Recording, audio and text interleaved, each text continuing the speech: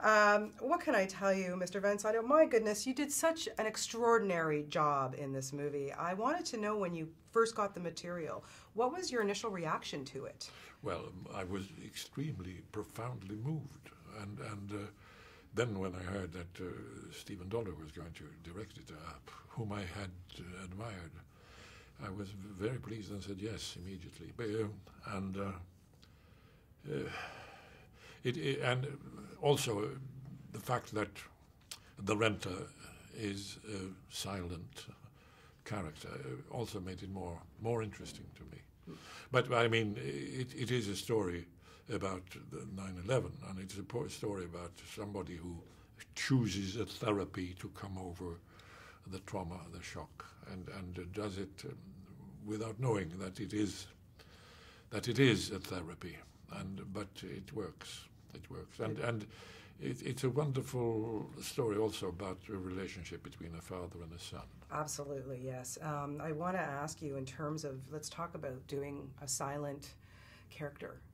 Um, I don't even know how, how you ended up getting through it because everything was obviously in the expression in your eyes and your face, your everything it's to me it spoke louder than words. How do you take take on a, a character like that, and where do you well, go? Well, I, I, didn't do anything. I probably didn't do anything different from if from a part the same part speaking.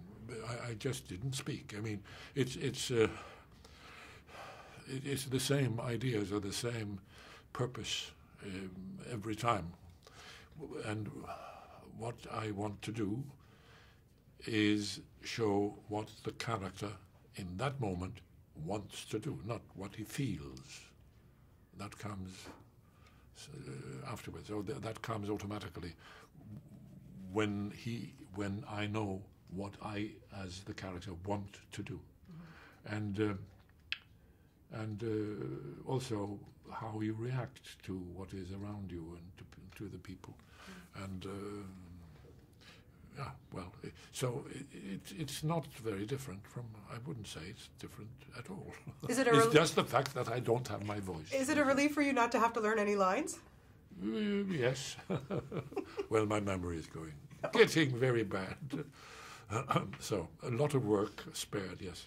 Please, uh, you've got to tell me about your first impressions of young Thomas Horn. This kid is extraordinary. He, he's extraordinary. Yes. Tell me about true. working with him. And no, no, he, it was a pleasure because he uh, he was very well prepared, and and uh, of course he's a very intelligent young man, and uh, it was never never any reason to come to say, uh, "Come here, young man, I'll tell you what to do." No, no, no. He knew what to do, and and he he knew what the character of, of Oscar was thinking and feeling and, and he did it. He showed it. And he had, for example, he had a, a long, long, long monologue.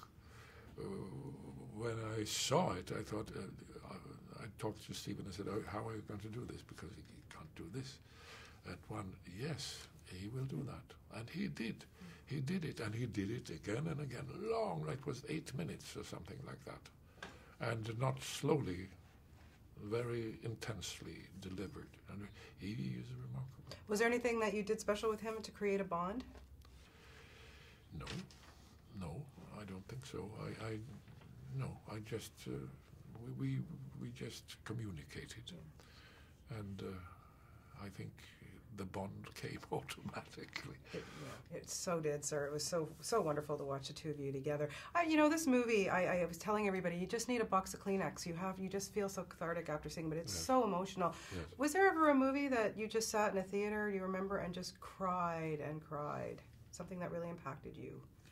That I was in, or, or that no, either was, either way, either way. Well, I'm sure there was. I don't remember now, but. Uh, but uh, it, it very rarely happens that I'm moved by a script, and this time I was.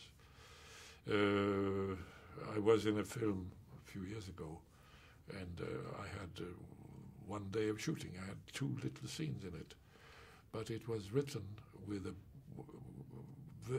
very well written, also very moving, a very moving story uh, about a man who had lost his ability to communicate. Really, he, was totally, totally uh, paralyzed. The only thing he could do was to blink, and he spoke by through blinking, and there were people who had patience enough to communicate him through that. And I was this poor man's father, and, and that script moved me also profoundly. I remember seeing that movie at the Toronto Film Festival, Diving Bell and the Butterfly, Yes, correct? that's- Under, yeah, that's- another amazing performance. Well, I just want to congratulate you on this. You've, uh, I think we're going to see you at the Oscars in March, so uh, congratulations to you, and uh, you. such a pleasure to have a chance to talk to you. Thank, you so you. much. Thank you very much.